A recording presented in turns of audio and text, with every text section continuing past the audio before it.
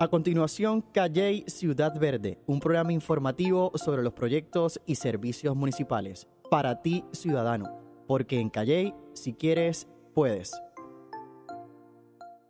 Saludos y bienvenidos al quinto episodio Calley es música del podcast Calley Ciudad Verde. Mi nombre es Lisbeth Rosario y estaré nuevamente con ustedes en este proyecto del Gobierno Municipal de Calley.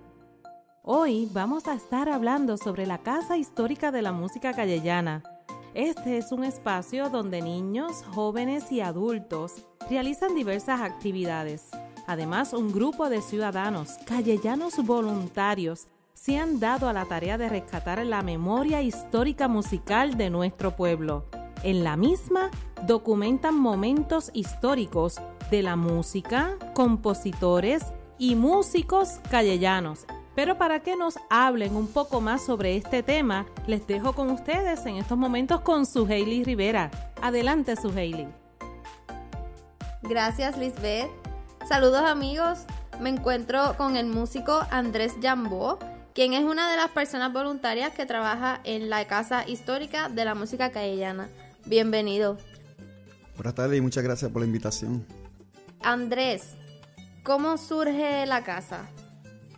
Pues mira, Suheili, la casa en realidad surge en el año 2013 cuando nuestro honorable alcalde Rolando Ortiz Velázquez nos concede la antigua casa Espada Selboni. Un grupo de voluntarios músicos nos damos la tarea de rescatar la historia de la música de Calley y en el año 2016, en noviembre de 2016, cuando abrimos las puertas por primera vez. ¿Qué tenemos en el primer nivel? Tenemos fotografías antiguas que datan desde 1865, que fueron una colección de un trabajo de un historiador callellano que se llama José Manuel Cruel. Estas fotografías se encontraban en el Museo Pío López Martínez y Jonathan Berrio, que es el director, no las concedió. En el primer nivel de la Casa de la Música vas a, pues vas a encontrar estas fotografías antiguas y vas a encontrar también unos monitores en donde los músicos que no podemos tener en la sala porque somos, son muchos músicos que existen en calle, pues los pasamos tipo slideshow en el monitor. En la Casa de la Música también damos diferentes tipos de clases, damos clases de cuatro, damos clases de guitarra, damos clases de guiro, damos clases de bongo, clases de barriles de bomba y también damos clases a cinco niños síndrome de Down. En el segundo nivel de la casa tenemos tres áreas. Una es la sala que llamamos la sala digital, que es donde pretendemos tener para el público unas computadoras con toda la información que estamos rescatando.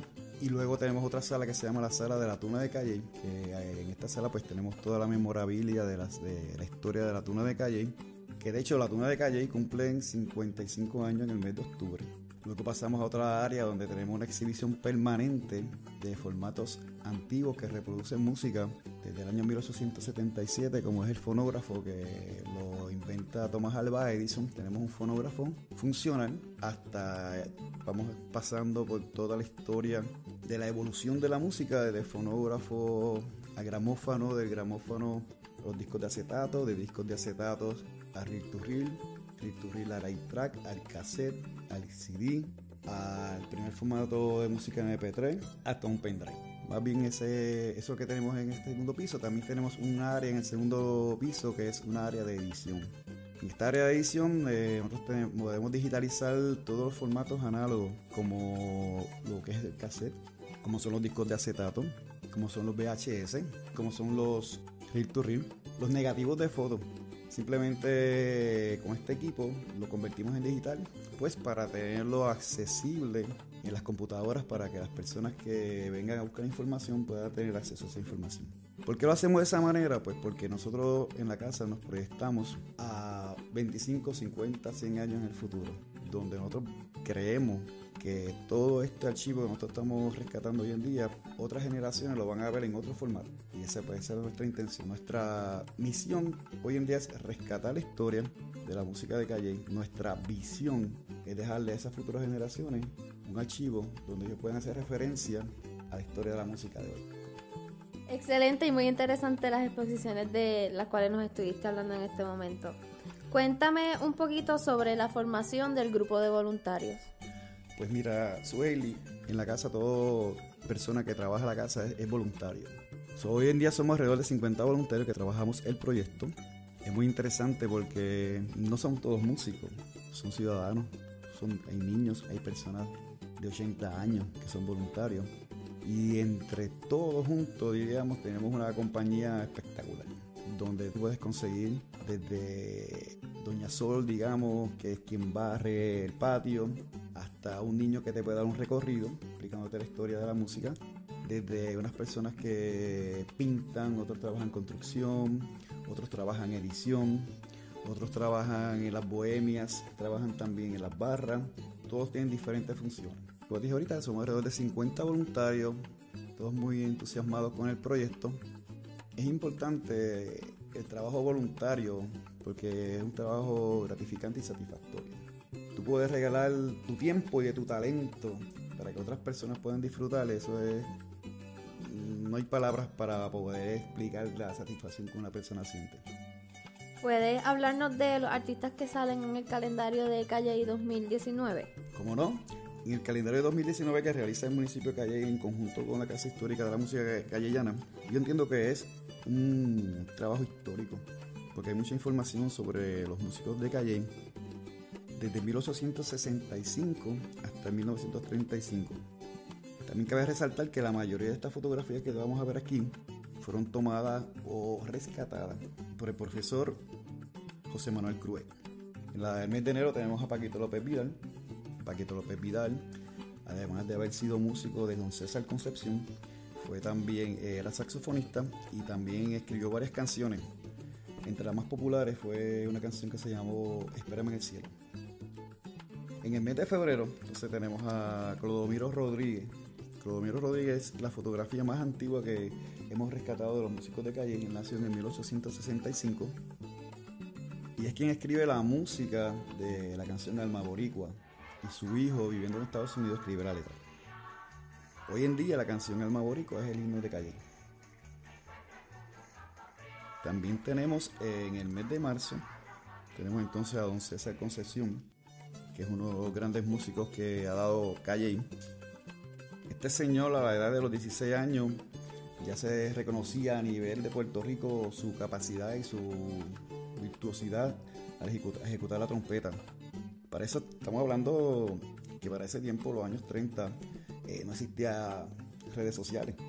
Simplemente se corría la boca. Allá en calle hay un jovencito que es muy bueno. Y este joven pues ya comenzó a ser eh, muy reconocido desde muy joven. Hizo mucha aportación en la música. Eh, entre su trayectoria, datos interesantes de su trayectoria, tenemos que cuando la, televisión surge por primera vez, es la primera orquesta en presentarse en televisión. También en 1946, el primer hit parade que surge en Estados Unidos de músicos latinos es una canción que se llamó Jack Jack Jack, donde Don César Concepción escribe la música y Armando Castro escribe la letra. Don César Concesión también escribió más de 100 boleros, lo dejó como un legado para el pentagrama musical. Pero también Don César Concesión eh, hace algo que es que toma un género folclórico que se llama la plena y le hace arreglos musicales para orquestas de 18 músicos, se llamaban Big Band para para ese entonces popularizando ese género que más bien era un género folclórico y lo lleva entonces a otros salones que nunca habían escuchado a plena. Y también hizo algo muy interesante que es que entonces comienza a componerle plena a los pueblos, a diferentes pueblos, a Yauco, a Ponce, eh, a San Germán, a Guada y a Calle etc. Este señor Don César Concepción es uno de estos grandes músicos. Eh, mucha gente, especialmente la generación joven, no conoce de Don César Concesión, pero fue uno de nuestros grandes músicos. En el mes de abril tenemos entonces dos bandas. Una se llama la Banda Municipal de Calle y la banda de Don Miguel Duchenne. La Banda Municipal de Calle es dirigida por el señor Claudio Torre de Comerío. Y dato interesante en esta foto, aparece Don César Concepción. Nosotros le ponemos quizá la edad de 12 o 14 añitos. Eh, cuando tú buscas la biografía de César Concepción, él dice que su maestro, su primer maestro se llamaba Claudio Torres. Y aquí lo tenemos. Tenemos luego en el mes de mayo a don Máximo Mino Pedraza.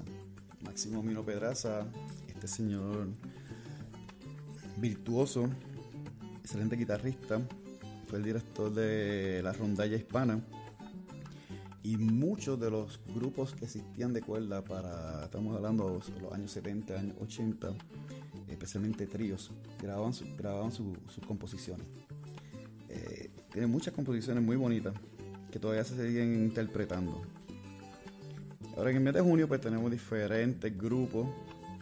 Eh, aquí podemos ver a un trompetista muy famoso en Calle que se llama Don Fausto Gómez. Don Fausto Gómez enseñó a muchos músicos eh, y también tuvo diferentes grupos como el grupo Cubanacán y diferentes grupos. Eh, también tenemos aquí entonces la familia Duchenne. La familia Duchenne, bueno, hablar un poquito sobre la familia Duchenne, ya que don Ángel Duchenne es el papá de varios músicos muy importantes en Calle. Entre ellos se encontraba don Miguel Duchenne, que también tuvo su propia banda y su propia orquesta trompetista. Y su hija Angélica Duchenne. También tuvieron otro hijo ah, músico muy reconocido que se llamó, Gonzalo Duchenne. Dato interesante, de, entre tantas cosas, de esta familia es que don Ángel Duchenne, padre, tenía un teatro aquí, se llama Teatro Angélica, que quedaba exactamente, si nos ubicamos en la calle Muñoz Rivera, la funeraria es Reposo, a la parte de atrás se encontraba el Teatro Angélica para los años 20, años 30, las películas eran mudas, no tenían sonido. Y esta familia, mientras la película se iba proyectando en la pantalla, ellos iban ejecutando música como para amenizar un poco el, ambiente. Em, aquí también aparece entre estas fotos una persona a quien conocí personalmente y don Rafita Torres y nos dio mucha, mucha información, muchas horas de información. Este señor que nació en 1919, Rafita Torres. Don Rafita Torres era una de las voces más hermosas de Calle. El dato interesante de él. Desde niño caminaba por aquí, por las calles. Hacía, hacía publicidad al Teatro Angélica de Don Ángel Duchenne y como ellos eran niños, cómo lo hacían. Ellos, varios músicos, jovencitos niños, se iban por las esquinas y empezaban a cantar, se secaba el público, el público empezaba a ver a los niños cantando. Entonces, luego que el niño terminaba, en este caso Don Rafita terminaba de cantar, salió otro niño con unos cartelones.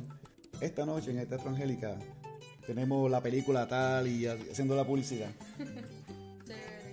Y yo le preguntaba a Rafita, eh, ¿te pagaban por eso? Y él me decía, no, le dejaban entrar al cine de gratis. era un intercambio. Sí, exacto. Era un intercambio.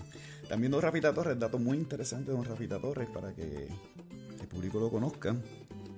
En una ocasión, Rafael Hernández, compositor puertorriqueño, iba a tener que, eh, que presentarse en Ponce y su cantante se enfermó. Y le dijeron que en Calle había un jovencito que cantaba muy bien y paró aquí en Calle a buscar a Rafita Torres. Pero como no existían celulares para ese tiempo, no encontraron a don Rafita Torres. Resulta que don Rafita Torres se encontraba en otro teatro que hay que se llamaba San Rafael. Y don Rafael Hernández no pudo esperar, tuvo que seguir para su compromiso en Ponce. Paró en Coamo y se llevó entonces a Bobby Capó, que es el. vendría siendo como el bisabuelo de Pedro Capó. Y se llevó a, era tremendo cantante, se llevó a Bobby Capó. Pero la su primera opción fue Rafita Torres de Calle. Aquí tenemos en el mes de julio, y bien interesante porque tenemos entonces eh, diferentes pianistas, desde la más antigua que tenemos documentada, que se llamó Doña Carmelita Muñoz Morales, que nació en 1869. En el mes de septiembre tenemos entonces a Doña Doris Maldonado, que fue una educadora y una maestra de coro y, muy comprometida con nuestro folclore y, nuestra comunidad. Ustedes ver anteriormente de la familia Duchenne y en el mes de octubre también tenemos entonces aquí la familia Duchenne. Para el mes de noviembre tenemos a un personaje. Si alguien que está escuchando esta, esta programación conoce sobre él y nos puede dar más información, se lo vamos a agradecer. Se llamó Don Mario Dumont, nació en 1910, falleció en 1965. Pero este caballero no tenemos tanta información de él, pero cuando buscamos información en las redes, aparece que acompañó a muchos grandes músicos, estuvo en muchos lugares, eh, eventos importantes, pero no tenemos biografía de él, era saxofonista, un gran cantante que se llama José Luis Monero. Eh, cuando leemos su biografía, él cuenta que la primera vez que él se presentó en una fraternidad en Ay Bonito, quien lo acompañó fue don Mario Dumont. Otro gran cantante argentino, Carlos Gardel, estuvo aquí en Calle, visitó Calle. Lo que hemos podido documentar es que quien iba a abrir eh, el evento antes de comenzar Don Carlos Caldel era Mario Dumont. Aparece también en las redes eh, Mario Dumont acompañando a grandes cantantes, pero no tenemos su biografía. Así que este es uno de nuestros, de nuestros, músicos que estamos trabajando, eh, investigando y vamos a traer el rastro de su trayectoria. Y pues para el mes de diciembre pues tenemos aquí grandes músicos que interpretaban la música folclórica, como lo era Víctor Rolón Santiago, un gran trovador, Chubito el de Calley, que quizás mucha gente no conoce, no sabe el, detalle de que Chubito el de Calley no era natural de Calley, era un hijo adoptivo de Calley, él era más bien de Jayuya, así en Jayuya llegó a Calley bien temprana edad. Tenemos fotografías de él, quizás como 21 años, 24 años, ya con amigos como Rafita Torre y otros amigos, viviendo en Calle. Tenemos también entonces al maestro Sánchez, un gran cuatrista, y don Marcial Rivera León, que fue cuadrista y compositor de danzas y mazurca. Don Marcial Rivera León falleció a los 99 años y 10 meses ejecutando el cuadro. Y en vida nos queda entonces Carlos Alvarado, que tuvo un grupo folclórico que se llamó Los Típicos Callellanos. Y este, sin resumen, este calendario es una pieza histórica, ¿verdad? Que recomiendo a todas las personas que puedan adquirirlo, que lo tengan, porque es una pieza histórica a las personas que, como bien dijo, este, tengan información que les pueda ayudar en el archivo de la Casa Histórica de la Música Callellana, ¿con quién y a dónde pueden comunicarse? Se pueden comunicar al 787-595-8900 o a nuestro email que es musicacallellana.gmail. Entonces tengo entendido que el espacio de la casita también ha servido como salón de clases para los cursos de música de la Escuela de Bellas Artes Municipal. Háblame un poco de cómo ha sido la experiencia con los jóvenes y también con los adultos que llevan a coger clases. Pues mira, Suheili, también trabajo para la Escuela de Bellas Artes, dando clases de cuatro guitarras y de güiro. Decidimos mudar entonces las clases a la Casa de la Música también la casa ofrece otras clases que son clases de barriles de bomba, de bongo y también damos clases de percusión tropical a niños con síndrome de Down. Las clases se ofrecen desde martes a sábado. Los martes las clases son de bomba comenzando a las 5 de la tarde.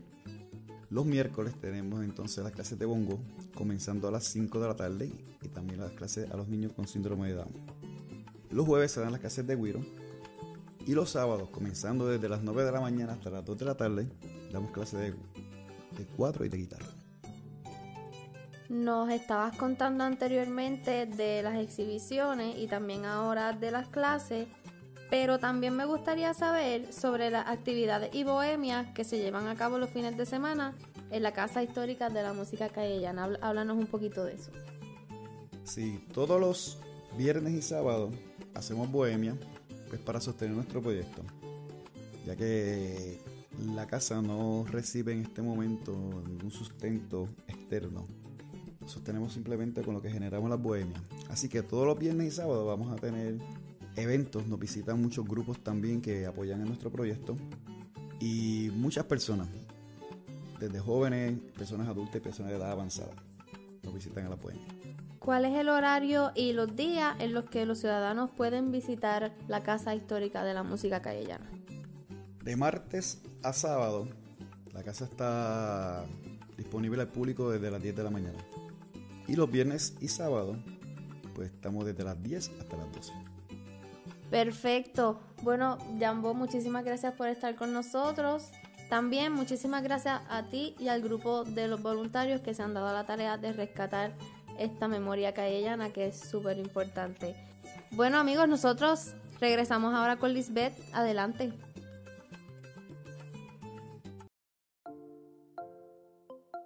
Excelente entrevista, su Hailey, y nosotros les recordamos que este episodio fue presentado gracias al Gobierno Municipal de Calley, la mejor ciudad de las Américas.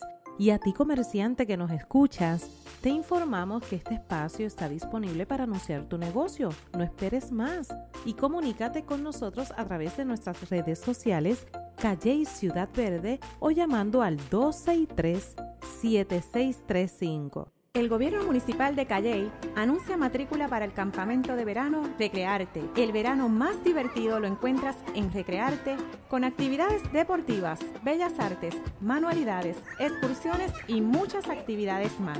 Para mayor información, comunícate al 787-738-2727 o al 787-738-0110. Te invita a Recrearte Deportes y Recrearte Bellas Artes. Detalles por Calley Ciudad Verde. Y este viernes 31 de mayo, todo el mundo para el Estadio Pedro Montañez en apoyo a nuestros campeones nacionales, los Toritos de Calley, quienes sí terminan con victoria sobre los próceres de Barranquita en este encuentro, aseguran el pase a la final de la sección central en esta postemporada de la Liga de Béisbol AA. Recuerden que cualquier información relacionada a este evento la pueden encontrar en nuestra página de Facebook Calle y Ciudad Verde. Apoyar a nuestros toritos, los próximos campeones, claro que sí.